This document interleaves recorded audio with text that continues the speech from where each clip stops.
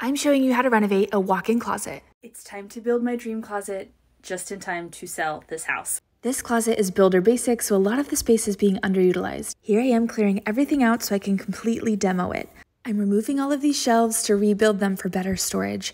First step is to cut the caulk lines using a utility knife, and then I'm using a trim pole to wedge everything off of the wall.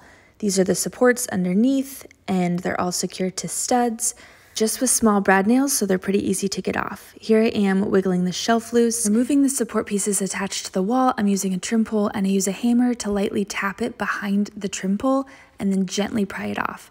I'm also taking out the baseboards in here because I want all the built-ins to sit flush to the wall. I'm going to be building around these shoe and storage shelves that I got. Follow to see me transform this space solo.